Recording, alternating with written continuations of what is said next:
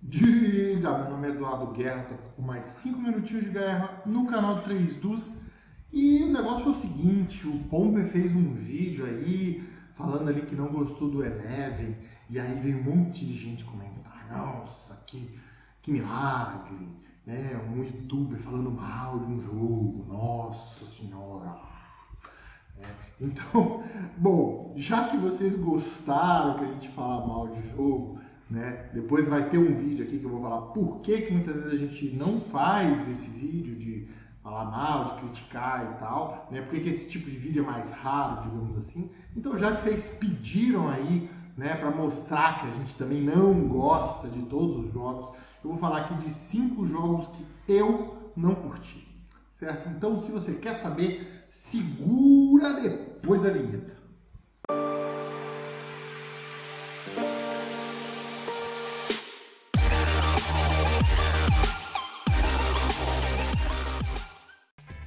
O episódio de hoje tem o apoio Lands Club, diversão inteligente. Bom, vamos lá, vamos começar aqui. Eu tenho certeza assim, ó, vamos lá. Antes de começar a falar os cinco jogos que eu não curti, eu vou fazer umas ressalvas aqui. Primeiro, tá? Eu tentei pegar nessa lista alguns jogos que são é, bem conhecidos, tá? Ou seja, são, não, não, não, é aquele jogo, ah, não gostei desse jogo aí que ninguém nunca ouviu falar. Bom, eu procurei também sair fora daquela coisa de, de ah, aqueles ali que todo mundo do hobby ali torce o nariz, é banco imobiliário, war, e etc. Porque também faz muito tempo, eu joguei esses jogos quando eu era criança, não tenho uma boa lembrança deles, mas não joguei eles recentemente, então nem teria é, condição de falar por que, que eu não gosto, porque assim, é, eu sei mais ou menos como eles funcionam, mas como eu não jogo há tanto tempo, né, então também tentei fugir desse. Então eu peguei jogos que a galera curte, então para mostrar que essa lista não é uma lista aqui também de ah, jogos ruins, mas jogos que eu não gostei. Tá? Bom, vou começar com o primeiro aqui que eu sei que muita gente adora, que é o Lords of Waterdeep. Tá? É um jogo aí no ambiente do Dungeons and Dragons, que é um jogo de alocação de trabalhadores. Tá? E assim, esse jogo assim, ele é bem icônico de como eu não gostei dele, porque assim, eu joguei ele, eu lembro que eu estava bem no começo do hobby. Então é aquela época que tudo é maravilhoso, todos os jogos são legais e você vai conhecendo mecânicas diferentes, vai ficando maravilhado com aquilo, né? Pelo menos comigo foi assim. E aí esse foi um jogo que eu joguei lá no começo e eu achei ele meio sem graça. Uma coisa que eu gostei nele quando eu joguei foi a expansão, que tem aquela mecânica de corrupção, mas foi a única coisa assim que eu achei mais interessante. E aí de resto eu acabei achando ele um jogo, não sei, muito linear, pouco interessante. E ele era aquele jogo clássico ali de alocação de trabalhadores. Eu logo e acabou que a partir desse jogo eu vi assim que tem vários jogos ali de alocação de trabalhadores que é mais ou menos a mesma dinâmicazinha, só muda ali as ações que você faz e, e, e como é que faz o ponto, o que, que você tem que pegar de recurso, como é que você completa os objetivos. Então aquele jogo bem é, certinho ali. E é o tipo de jogo que eu acho um pouco sem graça. E aí também eu acho que uma coisa que me pegou no Lords of Waterdeep foi essa mecânica, a mecânica não, a temática né, no, no ambiente ali do Dungeons and Dragons que é, talvez tenha criado uma expectativa que não, não acabou não batendo, tá? Então, o primeiro jogo que eu não curti aí foi o Lords of Waterdeep. É... Bom, mais um jogo aí também bastante popular que eu não curti foi o Wingspan, tá? O Wingspan eu as primeiras vezes que eu joguei ele, eu até gostei. Eu achei bem interessante a questão da temática, eu achei bem interessante a questão da, da de como né, que, que o tema estava implementado, algumas mecânicas, como algumas características de algumas aves no mundo real mapeavam para as mecânicas. Isso eu achei super legal. Mas assim, à medida que eu fui jogando ele, uma coisa que me incomodou um pouco é que assim a quantidade de cartas é muito grande e muitas vezes você começa a tentar montar uma estratégia e, e, e aí não vem, não, você não consegue completar aquilo. E assim, para mim, pelo menos, eu joguei algumas partidas, talvez desses, desses jogos aqui que eu vou falar hoje, acho que o que eu mais joguei foi o Wingspan, porque eu tive essa impressão positiva dele, mas que depois eu passei a não, não curtir tanto, porque era muito raro eu conseguir é, é, começar com uma estratégia e seguir ela até o fim. Eu achava muito aleatório ali como aquelas cartas vinham.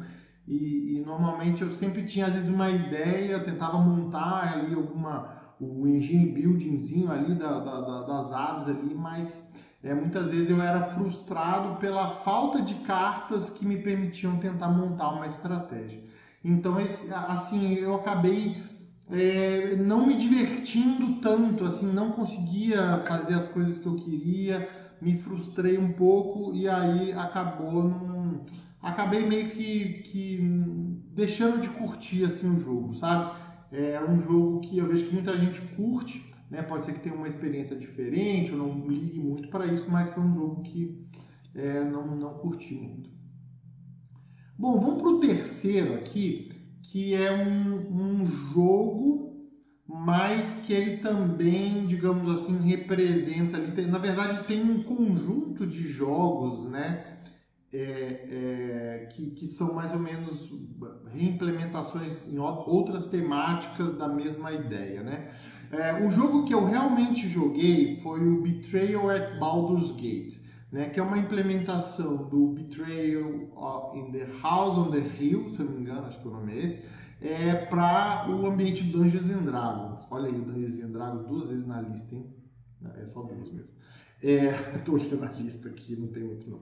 É, e aí, assim, foi um jogo que eu sempre escutei muito, muito bem, né? É, ah, Betrayal é muito legal, porque é um surpreendente, né? Então, para quem não conhece o jogo, a ideia do jogo você vai explorando ali e aí chega um momento que é baseado no que acontece, você tem 50 cenários e você segue em um deles. Então, esse cenário ele pode ser competitivo, pode ser cooperativo, pode ter traidor, pode ter papel escondido. Então, assim, é aquele jogo que você começa e não sabe o que, que vai rolar. Então, assim, eu particularmente achei essa proposta bem interessante, foi por isso. Aí quando eu vi uma implementação no universo do Dungeons Dragons que eu curto bastante, eu falei, opa, é isso, né? E aí, as duas vezes que eu joguei esse jogo foi bem frustrante, bem frustrante.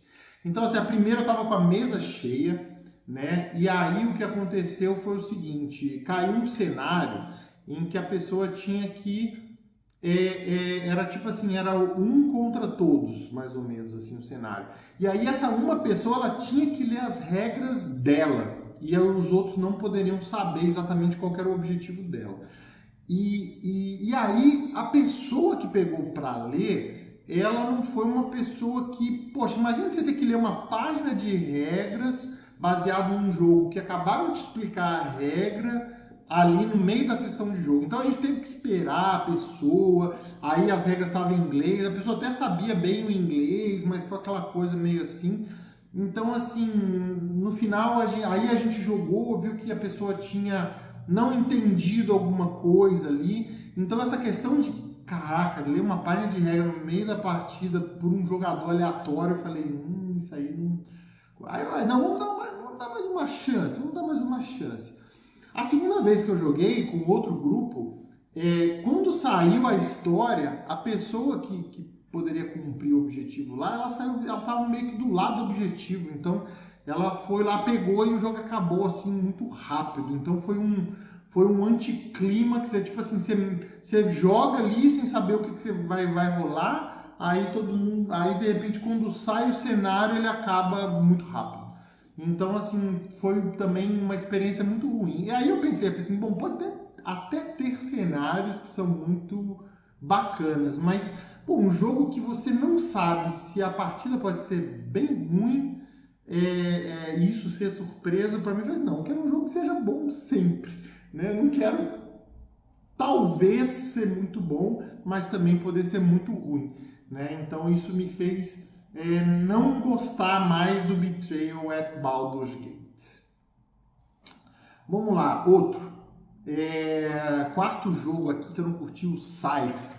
Tá? O Scythe é um jogo que eu sei que tem muita gente que não curte também, mas tem muito mais gente que curte.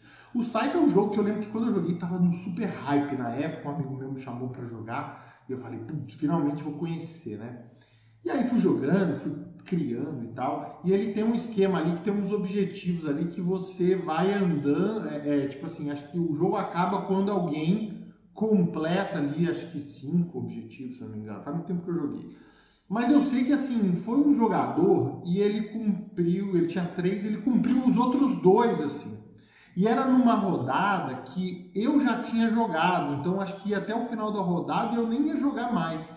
Então, se o jogo acabou tão de repente e, e esse cara foi me fez um ataque, né? Aí foi ali, foi aquele combate disputado, tal, ele cumpriu o objetivo dele. E aí tinha um outro jogador para finalizar a jogada. E aí ele me pegou que eu já estava capenga do ataque do outro e acabou de me detonar e também cumpriu umas paradas lá. E aí, assim, eu achei muito frustrante esse final do jogo. Foi, para mim foi um puta anticlímax. Porque assim, o jogo tava rolando, tava.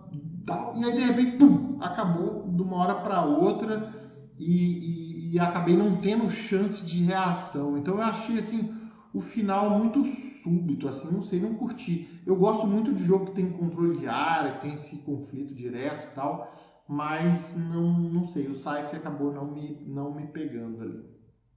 É, não, aí acabei até nem, jogando mais. é, bom, e vamos para o quinto aqui, que foi o Above and Below.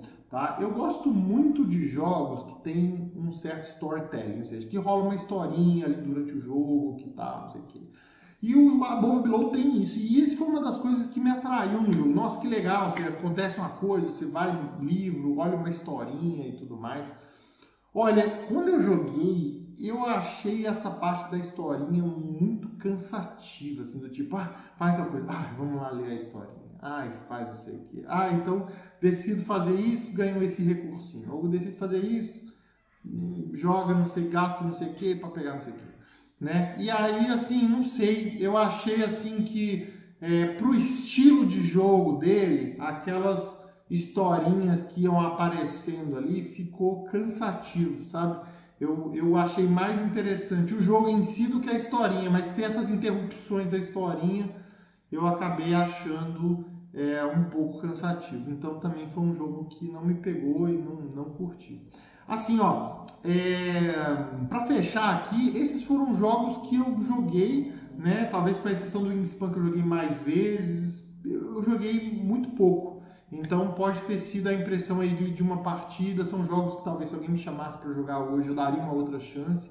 Né? Talvez, eu lembro o Above Below pode ter sido um dia que eu não estava muito bem, que aí por isso eu achei aquilo ali eu estava cansado, cabeça cansado, de repente achei aquilo ali cansativo, mas poderia gostar num outro ambiente, às vezes com outros jogadores, né? Então, assim, e aí quis pegar nessa lista também jogos que eu sei que tem muita gente que curte, ou seja, não são jogos ruins, só são jogos que eu não curti, certo? Então, se você queria ver o Edu Guerra falando que não gostou de alguma coisa, tá aí cinco jogos que eu não curti para você, certo? Então, se você não curtiu desses jogos também, deixa aí o porquê que você não curtiu, mas se você ama esses jogos de paixão e você quer defender eles, defenda ele aí nos comentários, vê se você consegue mudar a minha opinião. Certo? Abração a todos e até o próximo vídeo.